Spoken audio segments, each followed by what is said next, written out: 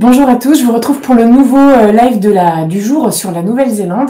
Euh, on vous l'a annoncé euh, la semaine dernière, cette semaine, on va faire un atelier tous les midis sur notre page Facebook pvtis.net Nouvelle-Zélande et sur notre chaîne YouTube PVTiste. L'idée, c'est de célébrer un petit peu la réouverture des frontières aux PVTistes vaccinés le 13 mars, précisément à 23h59, donc disons le 14 mars. et donc hier, on a abordé un petit peu les choses qu'il faut savoir quand on pense partir en PVT en Nouvelle-Zélande. C'était des informations générale sur différents sujets. Euh, je vous invite à regarder le, replay qui est disponible sur notre chaîne YouTube si jamais vous l'avez manqué. Et demain, on parlera de l'emploi. Jeudi, on parlera de l'achat d'un véhicule, le road trip, les transports en commun et le voyage en général euh, en Nouvelle-Zélande. Vaste sujet puisque c'est un très beau pays à parcourir.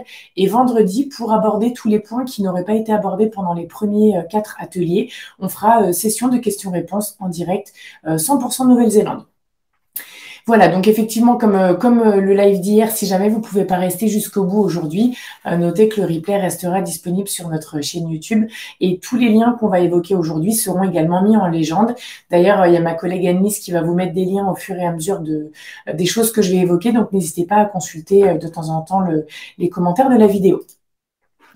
Euh, rapidement, pvtis.net, hein, on vous propose pas mal d'informations pour votre projet en Nouvelle-Zélande. On a déjà un tutoriel qui vous permet de, voir un petit peu comment fonctionne la demande de visa vacances-travail pour la Nouvelle-Zélande. Bien évidemment, quand les demandes vont reprendre, puisqu'actuellement elles sont toujours euh, euh, suspendues, on fera un test de demande pour vérifier que rien n'a changé. C'est quelque chose qui n'a pas changé depuis très longtemps, donc je pense que quand vous regardez notre tutoriel aujourd'hui, ça reste très révélateur de ce qui va vous attendre quand les demandes auront repris.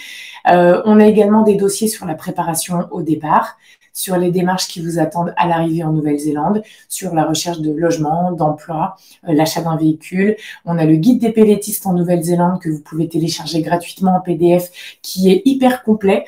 Euh, j'allais dire presque trop pour quelqu'un qui découvrirait euh, le PVT. Donc, vous amusez pas forcément à tout lire, c'est un peu long, mais il y a toute une partie notamment touristique qui vous intéressera quand vous serez en Nouvelle-Zélande et qui vous permettra, selon la région où vous êtes, de voir un petit peu ce qu'il y a à faire dans, dans ce coin-là. Donc, vraiment, ce guide, moi, je peux le dire, c'est pas moi qui l'ai écrit. Euh, il est vraiment génial, donc je vous invite à le télécharger.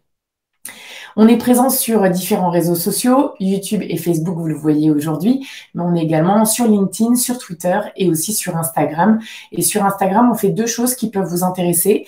Une fois par semaine, on fait un live questions-réponses euh, sur le PVT en général, tout pays confondu. C'est généralement le mercredi midi, mais comme demain midi, je serai avec vous pour parler de l'emploi en Nouvelle-Zélande, ce sera demain à 17h. Et ça, on le fait toutes les semaines. Donc, si vous avez une question qui vous revient euh, dans deux semaines, dans un mois, dans trois mois, vous saurez que vous pouvez euh, venir poser la question sur notre compte Instagram PVTiste. Et on fait également un point Covid-19 une fois par semaine en story qui dure 3-4 minutes et qui vous permet de savoir ce qui s'est passé dans la sphère PVTiste au cours des sept derniers jours. Euh, j'ai repris les salons également. Euh, récemment, j'ai fait un salon à Paris, un salon à Vannes, et je serai prochainement à Lille, à Limoges, euh, à Nice. Alors Nice et Lyon, ça va plutôt être des événements focalisés sur le Canada. Je ne sais pas exactement à qui ce sera ouvert, mais bon, vu que je serai là, si c'est ouvert à tous, n'hésitez pas à venir me voir. si vous avez des questions, vous voulez poser en personne également. Donc voilà, on va parler aujourd'hui du logement euh, en Nouvelle-Zélande. N'hésitez pas à poser des questions en commentaire, je les prendrai à la toute fin. Donc, euh, quand on veut se loger euh, en Nouvelle-Zélande, ça, ça, vient en plusieurs étapes, je dirais. vous allez devoir vous loger pour votre arrivée. J'ai de tout temps vu des PVTistes qui arrivaient dans leur pays de PVT sans savoir où ils allaient dormir. C'est une toute petite minorité. Je trouve ça dingue parce que quand on vient de faire un vol de je sais pas, 25, 30 heures, enfin, voire plusieurs vols, c'est quand même hyper appréciable de savoir où on va dormir euh, le soir de notre arrivée. Donc, la consigne générale, généralement, c'est plutôt euh, de réserver 5 ou 7 jours dans une auberge de jeunesse parce que euh, les hôtels et Airbnb, c'est bien, mais je pense que quand on vient d'arriver dans un nouveau pays, surtout si on arrive seul, ça peut être intéressant d'être entouré d'autres jeunes qui eux aussi viennent d'arriver en PVT ou pour des études. Éventuellement, ça peut être des touristes, mais c'est souvent des gens qui ont le même statut que nous. Et en fait, c'est des gens qui sont comme nous, qui ont envie de, sortir, de rencontrer des gens. Donc, l'auberge de jeunesse, c'est vraiment parfait. Euh, là, bientôt, euh, quand vous allez pouvoir partir, vous allez devoir euh, vous placer en auto-isolement pendant 10 jours, même si cette durée pourrait être amenée prochainement à 7 jours. Donc, il faudra voir si les auberges de jeunesse peuvent convenir. ou si c'est peut-être plutôt recommandé de vous isoler vraiment dans un Airbnb ou dans un hôtel, parce que c'est vrai qu'en auberge de jeunesse, à moins de mettre le masque à chaque fois que vous sortez de votre chambre, je me dis que c'est pas forcément très safe. Hein. Comme je le disais hier, euh, la Nouvelle-Zélande est un pays qui a hyper bien euh, géré la pandémie, entre guillemets, en fermant ses frontières. Et je pense qu'ils sont à peu près à 200 cas par jour aujourd'hui, ce qui est très peu. Donc, vous avez sans doute pas envie d'être celui qui crée un cluster dans une auberge et euh, qui fait que les cas remontent en flèche. Donc, il faudra voir un petit peu quelles sont vos solutions pour un auto-isolement. Euh, Airbnb et l'hôtel, donc euh, pour euh, l'auto-isolement, c'est très bien. C'est vrai que de façon générale, pour les PVTistes hors pandémie, je le recommande pas forcément parce que ça vous isole. ça peut être un petit peu difficile les premiers jours si vous êtes tout le temps tout seul. Et c'est moins facile de rencontrer des gens en allant dans un bar, par exemple, qu'en étant à l'auberge, parce que souvent à l'auberge, il y a toujours quelqu'un pour proposer de boire une bière ou d'aller dans un bar, etc. Je l'ai expérimenté moi-même à Auckland il y a quatre ans quand, quand j'y étais. Euh, en étant en auberge. Voilà, ça dépend des auberges. Hein. Il y a des auberges plus ou moins festives, on va dire. Euh, celles qui sont festives, vous allez avoir peut-être plus de mal à dormir par moment. Et d'un autre côté, il y a plus de gens qui proposent, ben, on va au bar qui vient. Et là, on se retrouve, on est 12 à partir dans un bar. Et franchement, c'est super sympa. Donc moi, l'auberge de jeunesse, je le recommande vraiment. En Nouvelle-Zélande, faut compter entre 12 et 20 euros la nuit. Je me permets de parler en euros puisque vous n'êtes pas encore parti. Une fois que vous serez en Nouvelle-Zélande, il faudra que vous pensiez plutôt en dollars euh, néo-zélandais puisque c'est dans cette euh, devise que vous toucherez vos salaires. Mais au moins pour le départ, faut compter entre 12 et 20 euros la nuit en fonction de la ville en fonction de l'emplacement de l'auberge, mais aussi euh, du comment du type d'hébergement que vous allez choisir. C'est-à-dire que en auberge de jeunesse, il y a des chambres privées. Ça, c'est aussi cher qu'un hôtel, voire plus cher qu'un Airbnb. Mais vous avez aussi des dortoirs de 4, 6, 8, 12. Et à Wellington, j'ai fait 20 c'est d'une violence. vous arrivez là-dedans, vous vous dites waouh, 20 personnes, j'avais pas fait gaffe en fait quand j'avais réservé ou je m'imaginais pas que ça faisait ça. Voilà, c'est pas cher, donc c'est très bien si vous êtes en mode voyage pas cher. Euh, moi, ça m'a pas dérangé, j'ai mis mes boules pièces, il y a personne qui était irrespectueux, mais c'est vrai que niveau euh, intimité et euh, je sais pas comment dire, enfin c'était c'était une expérience. J'avais plutôt testé des dortoirs de 4, 6, 8, 10 max. Donc voilà, mes 20 euros, 20, 20 personnes dans le dortoir, c'est quand même la garantie de ne pas payer trop cher. Euh, sachez aussi que quand vous prenez des auberges comme ça avec des gros dortoirs, c'est plus dur de se lier d'amitié parce que euh, ça va, ça vient, il y en a qui restent une nuit, deux nuits, euh, vous avez du mal à parler avec les gens, alors que dans des auberges plus petites, que j'ai testées justement en Australie ou en Nouvelle-Zélande, euh, il y a plus de proximité, on va peut-être prendre plus souvent le petit déjeuner ensemble ou même manger aux mêmes heures, et les gens se connaissent plus. Donc j'ai tendance à conseiller plutôt les auberges un peu plus petites, enfin, avec des dortoirs un peu plus petits. et puis quand vous regardez peut-être les photos du bâtiment, évitez peut-être les les grandes auberges usines un peu, parce que vous risquez de rencontrer moins de gens. Sauf si à ce moment-là, le budget, c'est votre priorité, ce qui a été mon cas euh, à Wellington, justement, dans le dortoir de vin. J'étais pas là pour rencontrer des gens, je voulais payer le moins possible, donc euh, ça dépend vraiment de vos objectifs. Vous avez aussi euh, le, réseau Couchsurfing. Je ne sais pas si vous êtes familier avec ça. Le Couchsurfing, c'est un réseau qui vous permet d'entrer en contact avec des gens en Nouvelle-Zélande ou partout dans le monde d'ailleurs, qui euh, acceptent de vous loger le temps d'une nuit ou de deux nuits euh, sur leur canapé, parce que le nom c'est couch surfing, donc euh, couch c'est le canapé, et du coup ça vous permet de ne pas payer le logement et puis d'être logiquement avec des gens qui sont pas mal dans l'échange, avec qui vous allez pouvoir parler, peut-être cuisiner pour eux pour les remercier de vous avoir logé gratuitement. Moi je l'ai fait en Nouvelle-Zélande c'est à Christchurch pour le coup. Et je l'ai refait aussi euh, euh, ailleurs en Nouvelle-Zélande et deux fois en Australie. Et euh, c'était toujours assez sympa. c'était plusieurs fois des colocations. En tout cas, en Nouvelle-Zélande, les deux fois, c'était des colocations. C'était des jeunes qui étaient OK pour rendre service. Et du coup, bah, dans les deux cas, le soir, on a parlé avec les gens de la coloc et tout. C'était super sympa. maintenant, c'est devenu payant, en tout cas pour faire vérifier son compte. Mais ça peut valoir le coup si vous pensez régulièrement faire appel à ce réseau-là. Euh, parce que c'est quand même des économies. Et puis vous rencontrez des gens. Alors moi, c'était pas que des locaux, c'était plutôt des gens qui vivaient là en coloc. Donc j'ai eu plutôt des Anglais, une Québécoise, euh, des choses comme ça, moins des Néo-Zélandais. Euh, mais voilà, le couchsurfing, ça peut être bien. Donc en lien, on va vous mettre euh, un, le lien vers notre dossier sur le logement en Nouvelle-Zélande qui vous donnera quelques précisions supplémentaires, le lien vers notre article qui présente le couchsurfing et on va aussi vous mettre un lien vers un site qui, euh, qui compare les auberges de jeunesse. vous verrez qu'en Nouvelle-Zélande, il y a deux gros réseaux d'auberges de jeunesse. Le premier, c'est BBH, BBH, et le deuxième, c'est YHA, YHA. Et euh, voilà, mais il y a aussi d'autres auberges indépendantes et des plus petits réseaux comme Nomads notamment. Donc n'hésitez pas à un petit peu les prix. Et sur ce site de comparaison, vous avez aussi des commentaires. Euh, voilà, est-ce que les gens disent que c'est propre euh, au niveau sécurité, au niveau ambiance, etc. ça peut être pas mal de, de regarder de ce côté-là. Ça, c'est pour le début. Voilà, vraiment, je vous conseille pas forcément d'essayer de chercher un appartement ou une colocation depuis votre pays d'origine. Euh, tout simplement parce que il y a des arnaques, ça peut exister. C'est pas en Nouvelle-Zélande qu'on en voit le plus, mais il peut quand même y en avoir. Euh, vous payez à distance, vous arrivez, il n'y a pas d'appartement. Vous avez aussi le risque de vous retrouver dans un quartier que vous auriez jamais choisi de vous-même en étant sur place. Et vous pourriez aussi avoir eu peut-être des photos d'un appartement où ça avait l'air grand, ça avait l'air lumineux, ça avait l'air sain. Et en fait, c'est sombre, c'est euh, hyper humide. Donc le mieux, c'est vraiment d'être sur place pour, euh, une fois dans la ville, euh, commencer à chercher une colocation. Autre argument pour chercher une fois sur place, vous allez peut-être arriver à Auckland et vous dire, ah, j'aime pas cette ville.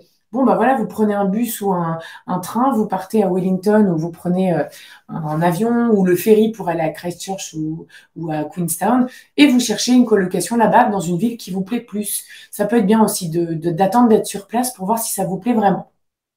Dans un deuxième temps, soit vous êtes en mode j'achète un van, je vais parcourir le pays ou une voiture, je vais parcourir le pays en dormant dans des campings ou dans des auberges de jeunesse. Dans ce cas-là, vous n'allez pas chercher euh, une colocation. Mais pour ceux qui ont l'intention de s'installer pendant quelques semaines ou quelques mois quelque part, euh, ça peut être euh, la colocation, ça va sans doute être une option intéressante pour ne pas avoir euh, trop de dépenses parce qu'on peut vivre en auberge de jeunesse en longue durée. Euh, il y a souvent des prix à la semaine et des prix au mois, mais ça peut revenir quand même plus cher. Et puis, vous manquez peut-être un petit peu d'intimité, donc pour certains, c'est un petit peu moins euh, tentant. Donc la colocation, euh, donc ça revient un peu moins cher. Vous avez généralement Internet qui est inclus et les charges aussi qui peuvent être incluses, notamment si vous voyez euh, que l'électricité est incluse, ça peut être intéressant, notamment sur les mois d'hiver donc l'hiver local là-bas, c'est-à-dire pendant notre été à nous, euh, français, belges et canadiens, parce que en Nouvelle-Zélande, l'isolation est pas terrible et dans beaucoup de logements, il n'y a pas de chauffage. En fait, c'est des des chauffages portatifs euh, qu'on vous euh, met dans les appartements. Et du coup, ça peut vite grimper en termes de, euh, de facture d'électricité. Donc, si tout ça c'est inclus, ça peut être intéressant. N'hésitez pas au moment de la visite de demander ce qui est inclus. En termes de vocabulaire, si vous voyez le mot furnished, ça veut dire que c'est meublé. Accommodation, c'est un logement. Landlord, c'est votre propriétaire. L'eau, c'est water. Hein, je vous apprends rien, je pense. Et l'électricité, c'est power. Voilà, après, il y a d'autres, euh, d'autres jargons, mais ça peut vous donner un petit peu euh, euh, des, précisions sur ce que vous verrez sur les annonces.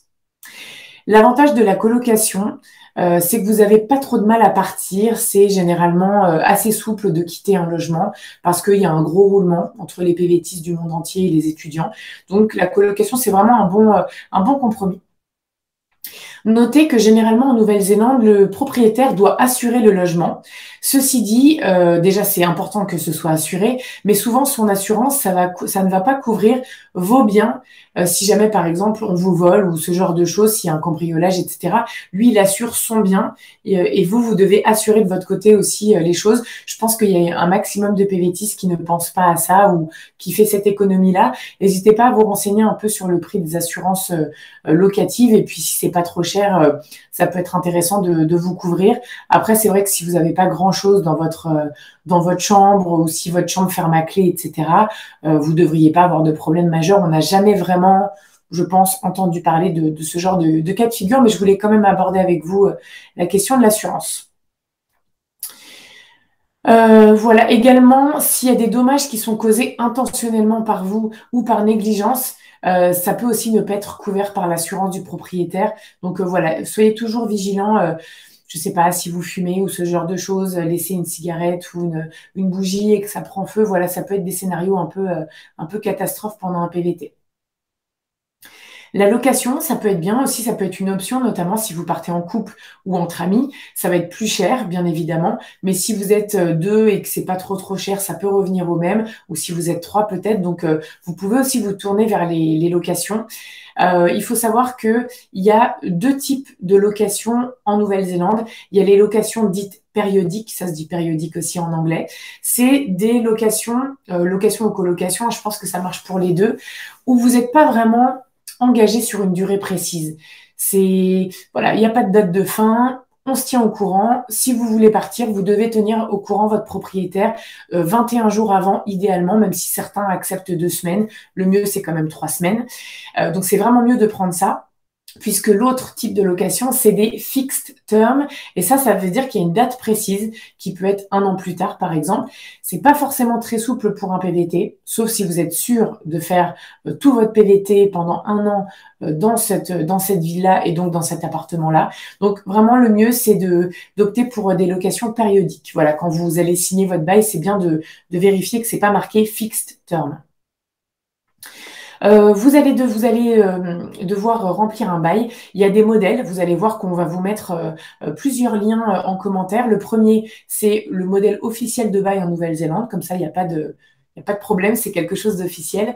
On va vous mettre également le modèle, le modèle de formulaire de caution, puisque quand vous allez prendre un logement, vous allez devoir verser deux à quatre semaines de loyer c'est le loyer est payé à la semaine euh, en Nouvelle-Zélande, parfois toutes les deux semaines, mais majoritairement à la semaine. Donc la caution correspond à deux à quatre semaines euh, de, loyer et ça se dit bond, B-O-N-D, la caution. Vous allez devoir aussi verser une avance de loyer euh, de deux semaines. Ça, je pense que c'est demandé parce que si un jour vous disparaissez du jour au lendemain, vous aviez payé deux semaines d'avance, donc elles vous seront pas rendues. Par contre, si vous dites à votre propriétaire, bah, dans deux semaines, je m'en vais, et eh ben, vous paierez plus de loyer, c'est bon, il avait ces deux semaines d'avance euh, déjà données, donc vous êtes réglo. Et donc ça, ça se dit rent in advance, loyer à l'avance. Euh, donc, on va vous mettre également le formulaire pour récupérer votre caution, puisqu'évidemment, la caution, elle est là, euh, vous la donnez au début, au moment où vous allez remplir avec le propriétaire un état des lieux. et cet état des lieux, vous verrez, il est inclus dans le modèle de bail. C'est-à-dire que vous avez, ça s'appelle un Property Inspection Report et il est inclus dans le bail. ça, vous allez tous les deux bien remplir. Et si à la fin, vous n'avez pas dégradé l'appartement, tout, tout est correct, vous allez pouvoir récupérer votre caution. Euh, si jamais vous passez par une agence immobilière, hein, il y en a qui existent et qui peuvent peut-être vous permettre de trouver un appartement soit plus facilement, soit avec plus de garanties que ce soit réglo, euh, même s'il n'y a pas trop trop de problèmes généralement. Euh, vous allez devoir aussi payer des frais d'agence qui s'appellent des letting fees. Voilà. si jamais vous payez quelque chose en liquide, que ce soit votre loyer d'avance ou euh, votre caution, pensez toujours à demander un reçu bien réglo avec euh, voilà, qui est bien tout marqué dessus. Peut-être que c'est affiché sur le peut-être que c'est précisé sur le, le bail, j'ai oublié de vérifier. Mais en tout cas, s'il y a de l'argent donné en liquide, vérifiez bien que c'est bien marqué quelque part pour qu'on n'aille pas vous dire après vous m'avez rien donné. Euh, voilà, pour la recherche euh, de colocation, je vais parler un petit peu après de, euh, de, la, de, comment on fait une recherche, mais notez que faut être assez actif dans votre recherche. Il y a un gros turnover entre les pelletistes et les, les étudiants notamment. Donc, il suffit de chercher activement pour trouver quelque chose. J'ai souvent entendu qu'il y avait pas mal de logements pas terribles, notamment à Auckland. Donc, voilà, prenez pas le premier logement, n'hésitez pas à en, chercher plusieurs, mais sachez que vous êtes en concurrence avec d'autres jeunes, donc euh, pensez à, chercher activement dès le matin. Donc par rapport au loyer, je vous l'ai dit, on paye le loyer à la semaine, voire toutes les deux semaines. Les loyers varient grandement d'une ville à l'autre et d'un quartier à l'autre. Euh, les villes les plus chères, ça va être Auckland et Christchurch, j'ai du mal à le dire, euh, suivi ensuite de Wellington et Queenstown, et ensuite les, ça, ça baisse un peu en niveau, au niveau des loyers. Euh, pensez bien à vérifier euh, quand vous êtes en, colocation, euh, quand vous cherchez une colocation, que c'est bien une chambre entière pour vous et non pas une chambre partagée, sauf si vous êtes OK pour partager votre chambre. ça se fait un petit peu moins en Nouvelle-Zélande qu'en Australie, mais ça peut arriver qu'on ait une chambre un peu grande avec deux lits. Ça permet de payer encore moins cher. Donc regardez bien dans les annonces, distinguez bien, comment dire, s'il y a marqué room sharing, c'est partager la chambre. Voilà. Euh, si vous cherchez à Auckland, en plein centre-ville, vous allez pouvoir vous attendre à environ 250 dollars de loyer par semaine.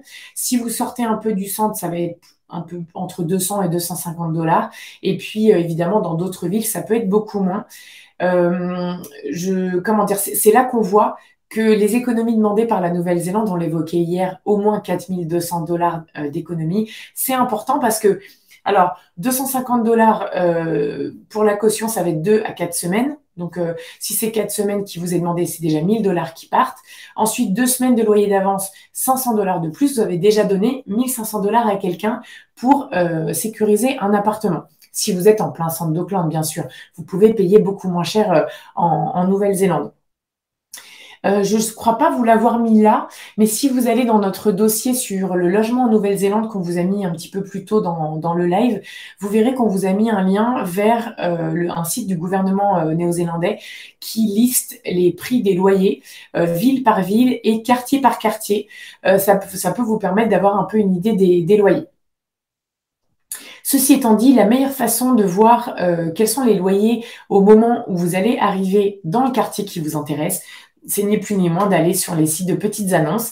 Euh, les trois qu'on peut citer, c'est les deux plus connus euh, en Nouvelle-Zélande, c'est Trade Me et l'autre, c'est Post a Note. Et on peut rajouter à ça un site de colocation qui s'appelle Flatmates.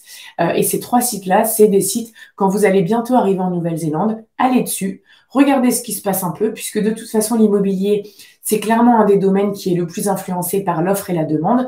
Donc euh, peut-être que là, comme ça va reprendre, il y a peut-être plein de propriétaires qui louent pas leur logement et qui vont dire euh, moi c'est pas trop cher, euh, prenez mon appartement.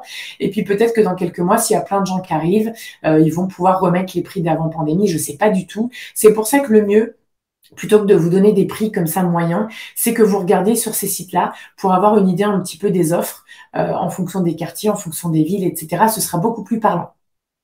Vous pouvez également aller sur des groupes Facebook.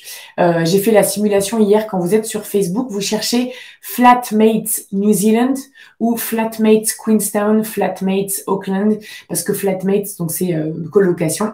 Vous pouvez aussi chercher Roommate ça marche aussi, ça veut dire colocataire. Euh, donc du coup, flatmate, roommate, et vous mettez Nouvelle, euh, New Zealand ou la ville dans laquelle vous pensez aller, et vous allez trouver des groupes anglophones, ce qui vous permettra peut-être de cibler des colocations internationales avec euh, peut-être des Néo-Zélandais, peut-être des Anglais, des Sud-Américains, des Asiatiques, d'autres Européens, et peut-être aussi quelques Français, Belges ou Canadiens francophones. Mais ça permettra peut-être pas avoir une colocation entièrement francophone, puisque je me doute que si vous partez en Nouvelle-Zélande, il y a aussi l'aspect linguistique qui vous intéresse. Vous pouvez aussi regarder dans des halls d'immeubles, euh, des annonces dans des auberges de jeunesse. Hein. il peut y avoir des annonces à différents endroits. Donc, euh, vraiment multiplier votre, euh, vos plateformes de recherche. Ensuite, pour les autres moyens de se loger, euh, alors bien sûr, là, je parlais des gens qui vont être un peu sédentaires euh, le temps de leur vie dans une, euh, de leur, comment dire, de leur résidence dans une ville bien précise. Mais pour ceux qui sont un petit peu plus nomades pendant leur PVT, on peut nommer notamment le volontariat. Si vous êtes familier avec ce, ce sujet, enfin, c'est en gros, c'est je travaille pendant quelques heures par semaine 25 heures par semaine en moyenne pour un hôte, pour une petite structure. Souvent, ça va être dans des régions rurales, mais pas forcément. Et en échange, je ne suis pas payée, mais je suis logée, nourrie et souvent blanchie. Donc le volontariat, ça se passe sur trois réseaux. Workaway, Help Exchange et Woofing. On va vous mettre un, lien euh, euh, sous la vidéo. Et donc ça, c'est un bon plan pour ne pas avoir de dépenses en termes de logement, ne pas avoir de dépenses non plus en termes de nourriture. Ok, on gagne pas d'argent, mais comme les deux postes principaux de dépenses que sont la nourriture et le logement, eh ben c'est gratuit. Ça permet de ne pas vraiment dépenser d'argent, euh, d'apprendre un nouveau métier, d'être en immersion chez des hôtes néo-zélandais bien souvent, de parler la langue du pays, etc. Et souvent, si vous êtes vous avez une, voiture ou un van, vous pouvez découvrir une région en profondeur puisque tous les week-ends ou les fins de journée, vous avez du temps pour euh, découvrir la région. Euh, il peut arriver aussi qu'on trouve un emploi, peut-être plutôt en zone rurale, euh, qui, euh, enfin, pour lesquels un logement est proposé. Ça, ça peut arriver. Souvent, c'est marqué dans les annonces. J'ai notamment connu des gens qui travaillaient en hôtellerie et qui, du coup, faisaient les chambres dans les hôtels et ils étaient logés sur place. Je suis pas sûre que ce soit systématique, mais vous pourriez être logé par des hôtels chez, dans lesquels vous travaillez. Moi, ça m'est arrivé. Alors, quand on fait tout ce qui est cueillette de fruits et légumes, etc., sur des grosses fermes, ça peut arriver qu'on propose, que les autres proposent un logement sur place ou la possibilité de garer son van ou de planter sa tente. Ça peut arriver, mais c'est pas toujours le cas. Dans ce cas-là, faut soit être véhiculé, soit trouver des gens qui travaillent au même endroit que nous et vivre au même endroit qu'eux, c'est-à-dire soit dans une coloc, dans une petite ville, soit en auberge de jeunesse et tous les matins, vous partez à plusieurs travailler. À un moment donné, j'étais dans une petite ville euh, à Katikati euh, dans la région à côté de Tauranga, dans l'île du Nord, en Nouvelle-Zélande. Et donc moi, bah, je, je travaillais, c'était il y a quatre ans, j'étais là-bas en touriste. Moi, je travaillais sur PVTistes, j'interviewais des PVTistes, j'écrivais des articles, etc. Mais je les voyais, les PVTistes. Et donc, il y en a plusieurs qui allaient bosser en même temps pour ramasser les kiwis ou les empaqueter. Et dans ce cas-là, ceux qui n'ont pas de véhicule vont participer de quelques dollars euh, par semaine pour euh, les frais d'essence. Mais il y a toujours moyen de se rendre sur le lieu du travail, surtout en Nouvelle-Zélande où c'est pas des, distances comme on peut connaître euh, en Australie. Donc il y a toujours des solutions pour être logé dans la, dans la ville d'à côté, pour se loger, parce qu'on n'est pas logé par l'employeur. Ensuite, on, peut bien évidemment envisager donc de dormir dans son break, dans son 4x4 ou dans son van. Attention, on a toujours euh, tendance à penser qu'on peut dormir partout, que, que voilà, c'est la van life, je vais m'endormir euh, sur euh, en bord de plage, etc. C'est pas toujours autorisé. Il faut bien faire attention à dormir dans des endroits où on a le droit de dormir. je dirais qu'autant en break, ça peut peut-être passer un peu discrètement, mais et encore, je pense qu'on le voit de l'extérieur. Mais en van, faites attention.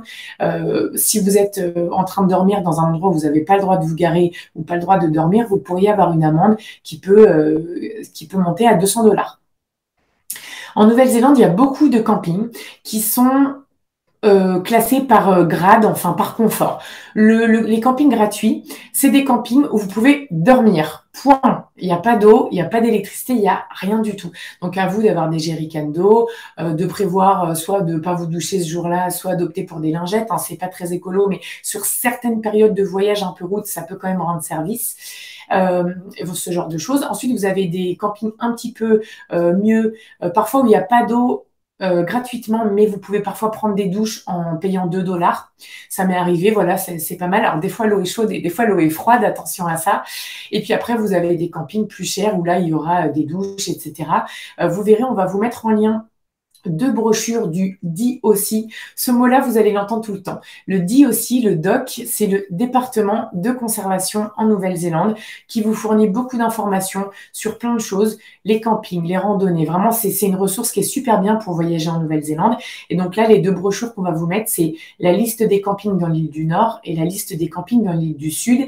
Et vous verrez qu'à chaque fois, c'est marqué euh, quel type de camping c'est. Donc en fonction, là aussi, de votre envie de confort et de votre budget, vous avez la possibilité d'aller dormir à gauche, à droite euh, avec un confort plus ou moins euh, développé.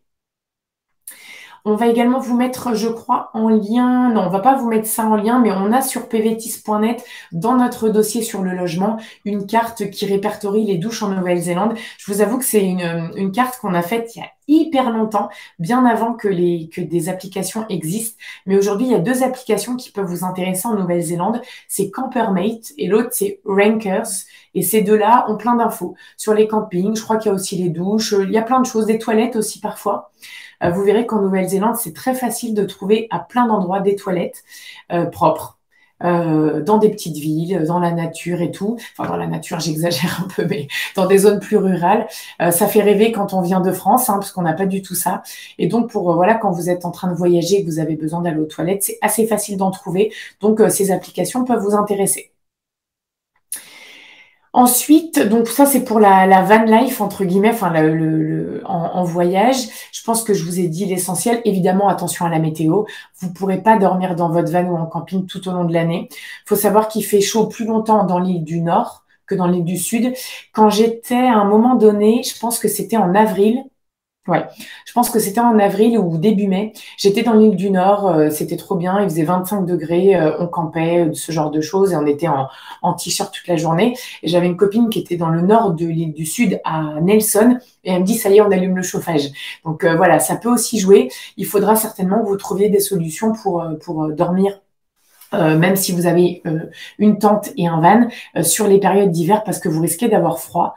C'est pour ça que, en y réfléchissant bien, je me suis dit que pour des gens qui vont faire pas mal de temps en van ou en voiture, euh, en, enfin en van surtout, sur les mois d'hiver locaux, vous allez avoir quand même un poste de dépenses euh, aussi important que ceux qui n'ont pas de véhicule ou ceux qui n'ont qu'une voiture, parce que c'est difficile de dormir dans son van, à moins, je l'ai fait moi, hein, il y a fort, fort longtemps pendant mon PVT Australie, euh, quand je suis allée en Nouvelle-Zélande, j'allais dans des bars et je demandais à ce qu'ils me, remplissent avec ma copine, enfin avec ma pote, on, on demandait à remplir nos, des, bouillottes d'eau bien chaude. On avait des grosses couettes et ça passait. Mais il faisait quand même assez froid. Je me rappelle là, euh, en 2018, euh, quand j'étais à Queenstown, euh, c'était au mois de début juin ou fin mai, il faisait moins 7 en journée. Donc la nuit, je pense qu'il faisait encore moins, beaucoup plus froid. Donc voilà, vous pouvez pas dormir tout le temps dans le van. C'est pas l'Australie. Euh, vous pouvez donc, je l'ai dit tout à l'heure, vivre en auberge de jeunesse aussi, ça peut être une option. Euh, donc, ça, vous pouvez euh, avoir souvent des prix à la semaine ou des prix au mois. Et il y a des gens, quand ils s'installent dans une auberge, ils proposent à l'auberge ce qu'on appelle work for accommodation, c'est-à-dire que vous allez bosser peut-être trois heures par jour pour l'auberge de jeunesse, peut-être refaire les chambres, nettoyer les douches et la cuisine, et vous êtes logé gratuitement en dortoir. Si vous regardez l'aspect franchement financier, c'est pas hyper rentable, mais au moins vous vous avez pas de loyer et puis bah vous entretenez la vie de votre auberge, ça peut être sympa. Il y a pas mal de gens qui font ça. Euh, voilà, la vie en auberge, moi j'ai adoré. Hein. comme je vous disais tout à l'heure, j'ai passé quelques semaines à Katikati, qui est une toute petite ville sans intérêt particulier euh, sur l'île du Nord. Il y a aussi beaucoup de gens qui vivaient à Tauranga, qui était quand même plus dynamique. Ça peut être une bonne option pour vous aussi, et qui est plus près de je sais plus comment ça s'appelle, ce mont qui est super sympa aussi. Donc, Taoranga, c'est quand même plus dynamique. Mais moi, il se trouve que j'étais à Katikati. On était, je sais pas, 25-30 jeunes. Et j'ai fait un article sur Pelletis qui s'appelle euh, Dans mon auberge. Et euh, ça montrait un petit peu bah, comment j'ai ressenti cette période. Et j'ai beaucoup aimé, en fait, si vous êtes vraiment tourné sur les autres, rencontrer des gens du monde entier euh, qui n'ont pas du tout la même vie que vous, qui n'ont pas les mêmes objectifs, qui n'ont pas le même parcours. Euh, vous mais voilà, vous allez tous bosser tous les matins ou certains de nuit euh, en empaquetage, en ramassage. Voilà, c'est moi c'est des souvenirs euh, impérissables en Nouvelle-Zélande. Donc la vie en auberge, si on n'est pas trop focalisé sur la propreté, j'insiste bien là-dessus, euh, et puis sur des fois le bruit même si moi dans mon auberge ça allait encore. Euh, voilà, du moment qu'on n'est pas trop à cheval là-dessus, euh, c'est des super expériences, mais voilà, euh, c'est c'est un peu le bordel. Dans la cuisine, ça peut être un peu sale. Euh, c'est un peu un joyeux bordel. Donc c'est pas pour tout le monde, mais pour ceux pour qui c'est, je vous le recommande vraiment pendant votre PVT. Ça vous laissera des très bons souvenirs et des très belles rencontres. Si jamais vous pensez voyager régulièrement et que vous avez besoin d'une adresse euh, en Nouvelle-Zélande, sachez qu'il y a quelque chose dont je parlais hier qui s'appelle la poste restante. Euh, la poste restante, ça s'appelle poste restante en anglais et ça vous permet que la poste néo-zélandaise garde votre courrier. Pendant 7 jours, c'est gratuit et au-delà de 7 jours, c'est payant plus ou moins cher par tranche de 7 jours. Je vous laisserai euh, regarder ça. Euh, et, donc, du coup, ça peut vous permettre, si par moment vous êtes, euh, vous n'avez pas d'adresse et vous avez besoin de recevoir du courrier, par exemple, vous vivez en van et vous êtes à, je sais pas, à Taupo, par exemple, euh, vous pouvez donner cette adresse, enfin, l'adresse de la poste restante de Taupo, par exemple, à votre famille en disant j'y serai dans deux semaines, hop, il vous envoie le courrier. Et quand vous arrivez bah, à la poste de Taupo, à garder votre courrier. Ça peut servir, c'est pour ça que je le mentionne, parce que bien souvent, bah, on n'a pas forcément d'adresse fixe en Nouvelle-Zélande. Voilà ce que je peux vous dire sur le logement. Je ne vais pas m'éterniser plus. Je vais aller regarder si vous avez des questions. Euh, j'espère que ça vous a permis d'avoir quelques petites, euh, quelques petites informations euh, pertinentes pour, pour votre PVT. Est-ce qu'il y a beaucoup d'insécurité concernant les vannes? C'est possible de le laisser quelques jours au même endroit pour faire des treks ou autres activités? Très bonne question. Alors, il y a des braquages de vannes. Alors, braquage, vous n'êtes pas forcément dedans, mais il y a des vannes qui se font effectivement euh, euh, casser pour que tout le contenu soit volé, euh, notamment des vannes louées. il y a une marque que j'aime bien pourtant, mais je ne comprends pas leur stratégie. C'est une marque qui s'appelle Juicy. J-U-C-Y, mais leurs vannes, ils sont vert fluo. On vous voit à 8 bornes pendant que vous êtes en road trip. Et du coup, le message qui est envoyé, c'est dedans, il y a toutes mes affaires. Mon ordi, mon machin, mon truc. Et donc, du coup, c'est vrai qu'il peut y avoir parfois des gens qui vont casser ce genre de vannes. C'est pour ça qu'il y a des gens qui vont plutôt opter pour des... Euh, ah, attendez, parce que moi, quand j'étais en Nouvelle-Zélande, j'ai rejoint deux PVTistes avec qui j'ai voyagé dans leur van, mais c'était un Toyota Estima. Vu de l'extérieur, c'est pas vraiment un van, c'est moins grand, le confort est moins évident, c'est-à-dire qu'on pouvait pas... Euh, on, avait, ils avaient créé un matelas de place, mais c'était pas aussi confortable qu'un vrai van identifiable. Mais donc, du coup, une fois les portes fermées, ça passe un peu plus inaperçu, donc ça peut être une bonne, euh, une bonne option, je dirais. Je pense que c'est pareil pour tout ce qui est break. Euh, les breaks, déjà, c'est moins cher. Et en plus, bah, on voit bien que, peut-être vous dormez dedans, mais il n'y a pas de la place pour plein de trucs, donc ça peut un peu moins attirer l'attention. Après, c'est pas du tout sûr que votre van sera braqué loin de là. Mais c'est vrai que moi, ça m'est arrivé d'avoir peur parce qu'on a fait Tongariro. Et puis j'avais mon ordinateur avec lequel je travaillais. Si on me l'avait volé, ça aurait été vraiment une galère. Et donc, euh, vous allez vous moquer de moi. on est parti faire le Tongariro euh, en, en prenant l'ordinateur parce que j'avais trop peur en fait. Et en fait, euh, le van n'a pas du tout été braqué. Donc, du coup, je me suis dit, bon, surtout qu'il y a eu des... On a vécu le Tongariro comme personne, je pense, avec des intempéries pas possibles. Lors de notre deuxième jour, le sentier avait été bloqué, mais nous, on avait commencé, donc on a continué. C'était horrible euh, là-haut. Il y avait tellement de vent, tellement de pluie, ça me fouettait le visage. Enfin, mon ordi, je sais même pas comment il est, ressorti vivant de ce truc-là. Donc, ne faites pas ça. ne faites pas ce que j'ai fait.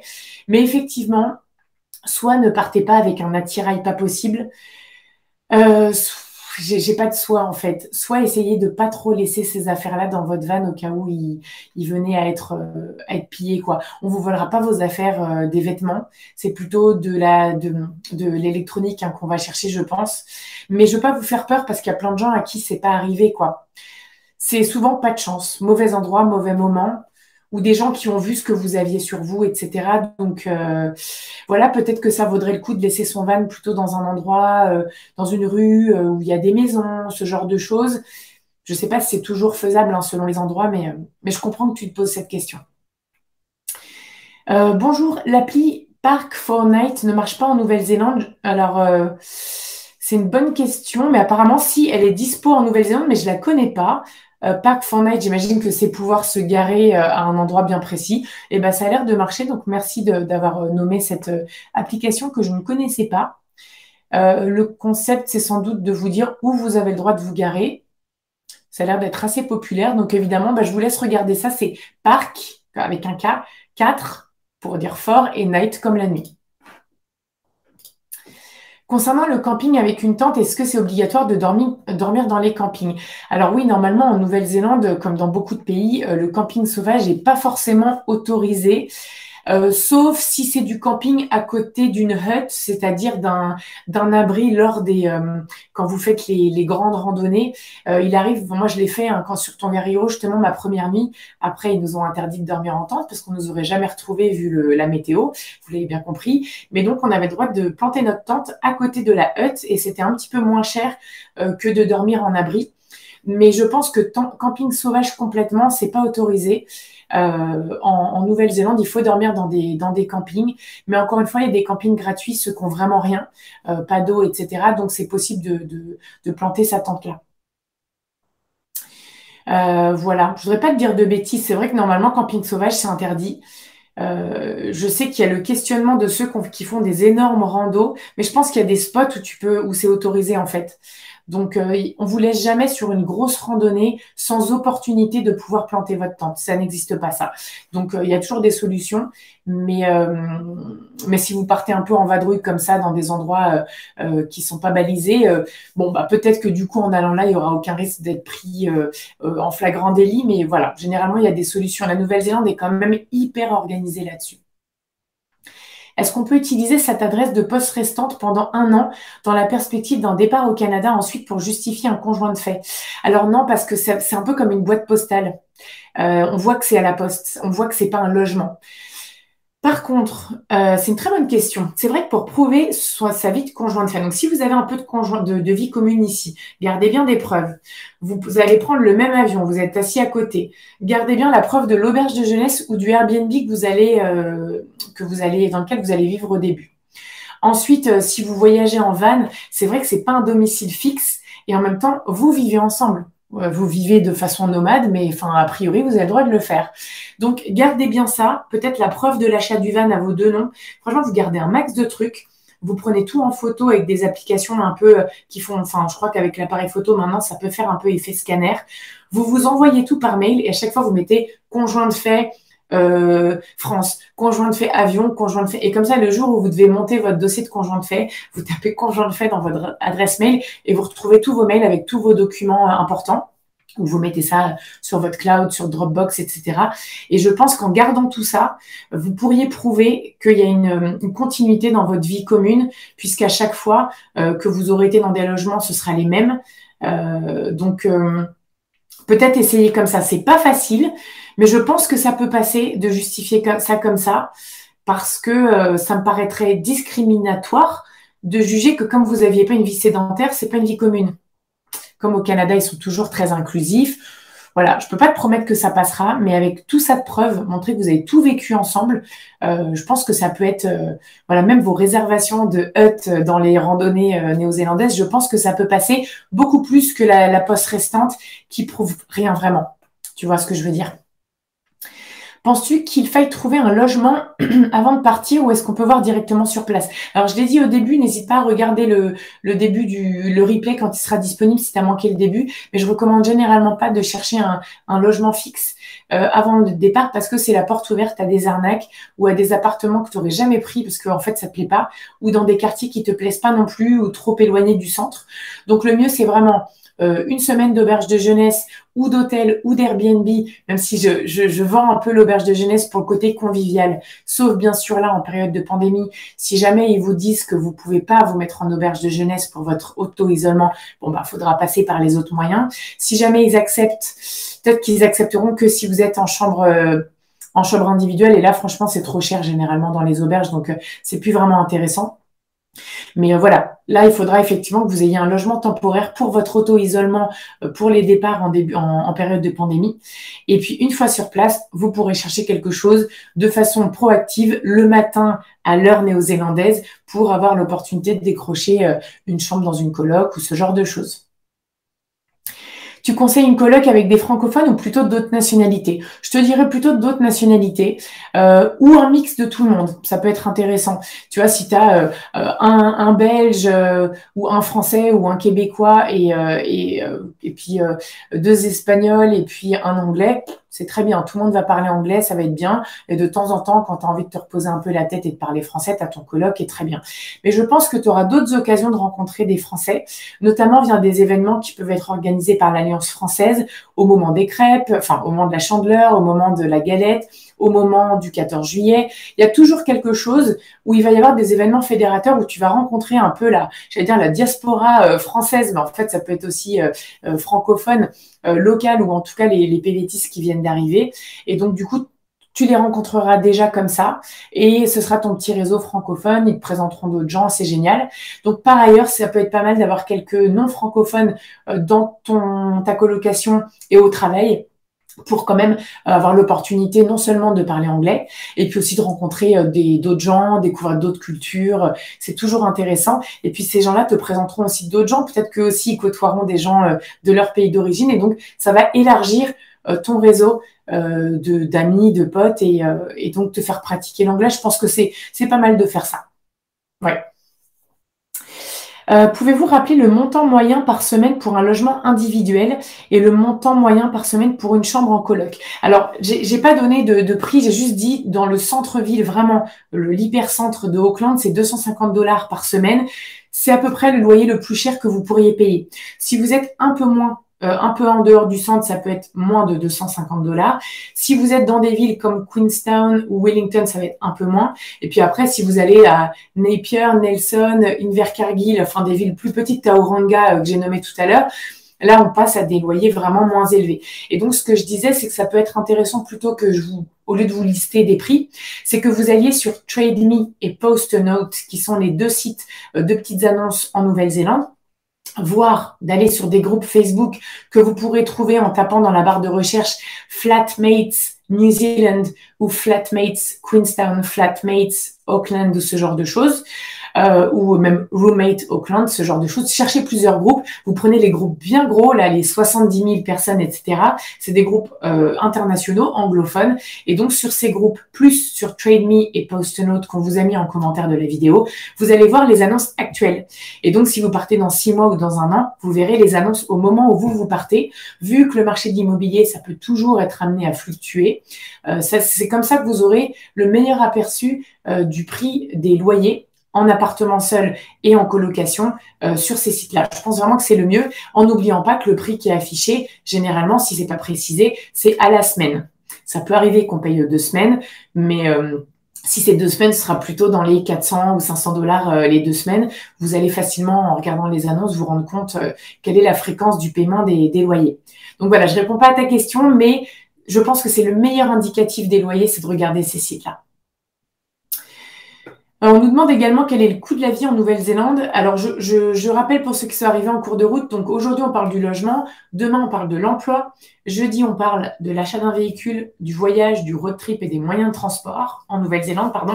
Et vendredi, c'est questions-réponses sur le PVT en Nouvelle-Zélande, toutes thématiques euh, confondues. Là, le coût de la vie, euh, je dirais que le logement, c'est quelque chose qui coûte un peu cher quand même c'est sûr que si vous venez de Paris, par exemple, ou d'une ville comme Toronto, une ville chère, euh, ça peut vous paraître correct. Euh, mais selon les, villes, notamment à Auckland ou à Christchurch, c'est un petit peu cher. Euh, en nourriture, les restaurants sont pas forcément donnés. la nourriture est pas forcément donnée non plus. J'avais trouvé qu'en termes de fruits et légumes, c'était plus cher qu'en Australie. D'ailleurs, quand j'étais en 2018 en Nouvelle-Zélande, je suis allée faire un tour en Australie. Et bon, c'était sur la comment dire la côte est, euh, là où il fait très chaud, il y a beaucoup de production de fruits et légumes. Et là, j'ai vu le prix des tomates, j'étais soulagée parce qu'en Nouvelle-Zélande, des fois, c'était pas donné. Donc, euh, ça peut aussi être un, un, mode de dépense.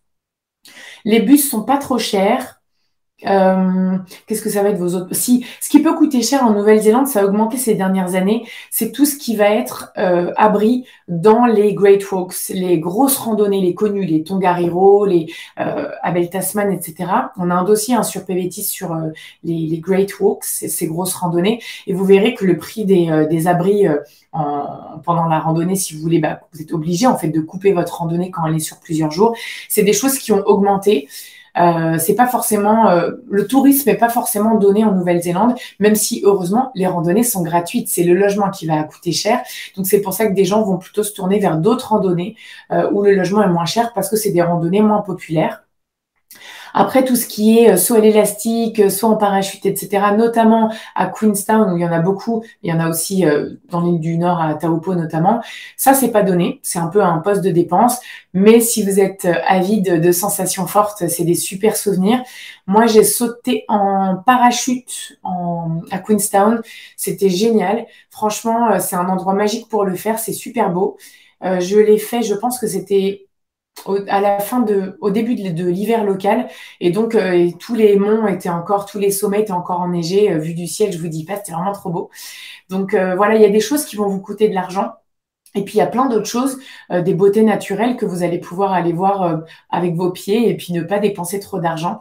ça dépend vraiment ce que vous voulez faire. C'est comme les glaciers dans l'île du Sud, ça ne se fait aujourd'hui que en hélico, donc forcément c'est cher. Voilà. Donc tu peux regarder notre dossier sur le coût de la vie en Nouvelle-Zélande sur pvtis.net il date d'avant la pandémie, donc forcément ça a changé, mais ça peut lister un petit peu les postes de dépenses pour que tu établisses au mieux euh, ton budget. Euh, recommandez-vous la plateforme Worldpacker pour le volontariat? Je vais être honnête avec toi, je ne connais pas.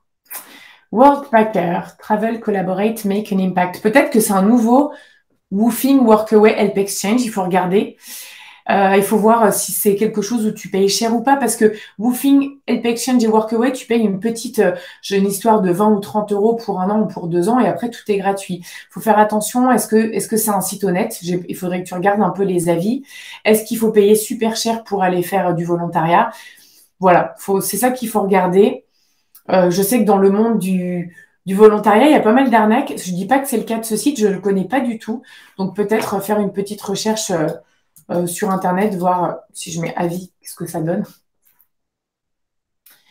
Euh, bah, je vois qu'il y a un site internet qui dit World, Worldpackers contre Workaway, qu'est-ce qui est mieux? Peut-être regarder ce site-là. Mais voilà, faire juste attention que tu vas pas te retrouver à payer 400 euh, euros par semaine pour aller faire du volontariat. Tu vois, c'est pas le concept du truc. Et si c'est pas comme ça, si ça ressemble à, au Woofing, au Workaway ou au Help Exchange, je pense que c'est bien. Je t'avoue que je connais pas. Alors, je vois qu'il y a des questions sur le van. On va garder ça pour jeudi. Et est-ce que c'est vrai que, ouais, pas tout ce qui est van, je vais noter vos questions pour jeudi, euh, pour ne pas oublier d'y répondre. Je, les aborderai même euh, directement euh, sans attendre la partie questions-réponses. Donc, je vais me les noter là. Hop. Voilà. Je crois qu'il n'y a pas d'autres questions en lien avec le logement. après, c'est vrai que c'est un sujet important et en même temps, je pense que j'ai fait pas mal le tour sur l'aspect légal, un petit peu tout ce que vous devez savoir, les préavis, euh, signer un bail, hein, c'est toujours bien de faire ça bien réglo.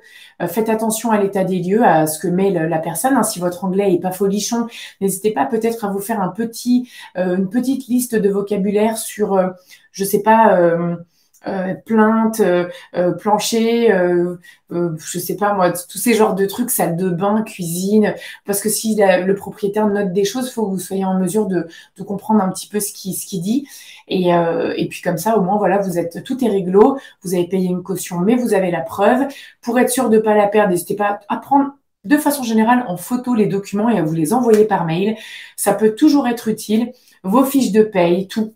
Parce que, euh, on le disait hier euh, en Nouvelle-Zélande, pendant vos 12 mois de PVT, si vous travaillez au moins trois mois dans l'horticulture ou la viticulture, la Nouvelle-Zélande, à la fin, vous autorise à demander trois mois supplémentaires en cadeau parce que vous avez donné trois mois de votre PVT à des domaines euh, qui sont en pénurie de main-d'œuvre. Si vous perdez vos fiches de paye parce que euh, vous avez, on vous vole votre sac ou vous vous êtes retrouvé sous une, euh, une pluie, euh, une pluie hyper forte et que tous vos documents ont fondu entre guillemets, voilà, le mieux c'est de toujours prendre en photo tout ce qui à un moment donné ou à un autre pourrait vous être redemandé. Je pense que ça coûte rien de prendre une photo et de se l'envoyer par mail. Comme ça, vous êtes sûr de d'avoir tous vos documents à tout moment. Euh, lors de l'arrivée en Nouvelle-Zélande, quelle sorte de logement serait-il euh, serait mieux? Airbnb, auberge de jeunesse? J'ai répondu au début ça aussi. Les deux, c'est bien. C'est juste que là, on est en période de pandémie. Donc, il faut voir euh, dans quel logement vous aurez le droit de vous isoler en arrivant. Est-ce que la Nouvelle-Zélande va vous demander plutôt d'être dans des endroits où vous n'êtes pas avec des inconnus comme en auberge de jeunesse?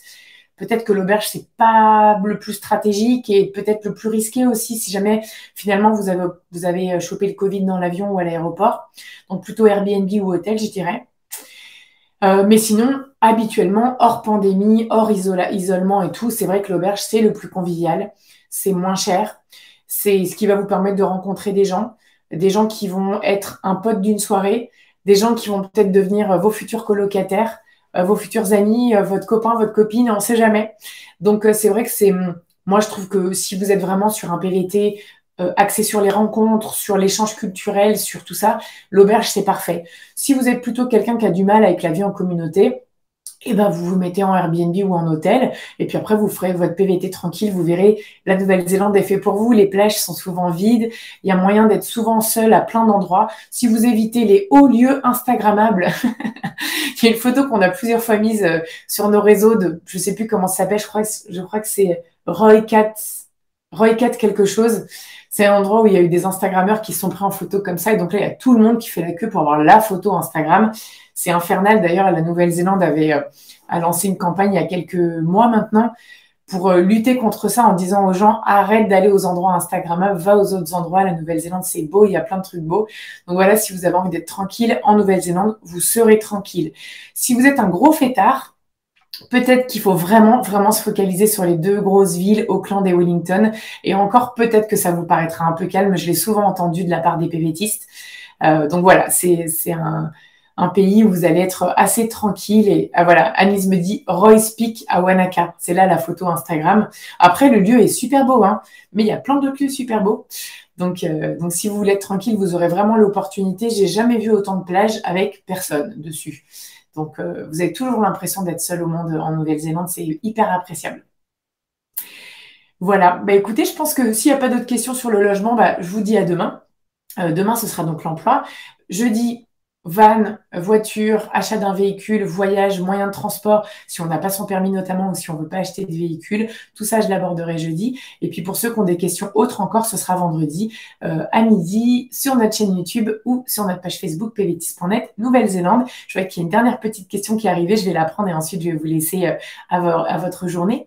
Si on est propriétaire en France, le mieux est de faire un contrat de 9-12 mois pour un locataire et laisser son appart à une agence euh, ou laisser son appart à une agence, j'imagine que c'est ça que tu as voulu dire. Je pense que ça peut être intéressant de faire effectivement euh, euh, un bail d'un an. Tu toujours des gens qui sont intéressés par un bail d'un an parce que ils viennent faire des études ou ce genre de choses. Donc, moi, je te recommanderais plutôt de, faire ça, mettre ton appart en location pendant un an. Après, les agences, ça peut être bien aussi. C'est juste que tu vas gagner un petit peu moins, mais au moins, tu n'as pas à y penser. le loyer sera toujours payé. Si tu comptes dessus pour euh, avoir des finances en Nouvelle-Zélande, c'est vrai qu'une agence, ça peut être un petit peu plus, euh, un petit peu plus sûr. C'est vrai que tu perds un peu d'argent, mais au moins, tu as la tranquillité d'esprit. Euh, donc là, c'est vraiment à toi de voir si tu vas être un petit peu serré au niveau budget.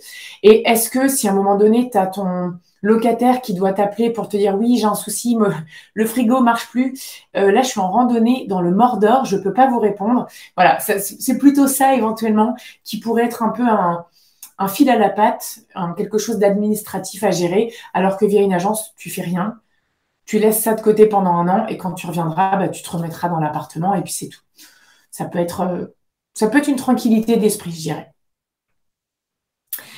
Voilà, merci beaucoup pour, euh, pour vos questions. J'espère que ça vous a été utile. Et puis, bah, je vous souhaite une très bonne journée. Puis, on se retrouve demain pour, euh, pour une autre thématique, l'emploi, qui est sans doute une de celles qui vous intéresse le plus. J'essaierai de vous donner un maximum de, conseils et de liens utiles pour, pour chercher du boulot. Mais notez que de façon générale, on va être en sortie de pandémie je peux pas, on peut pas être sûr que dès que le pays va rouvrir, euh, des milliers et milliers de PVTs vont arriver. Donc il va y avoir du boulot, même si je vois des articles qui disent que la Nouvelle-Zélande rouvre trop tard, qu'il y a plein de récoltes là qui vont, voilà, les, fermiers vont être vraiment euh, très embêtés. Donc euh, vous aurez plein d'opportunités d'emploi, je pense, en partant en PVT rapidement.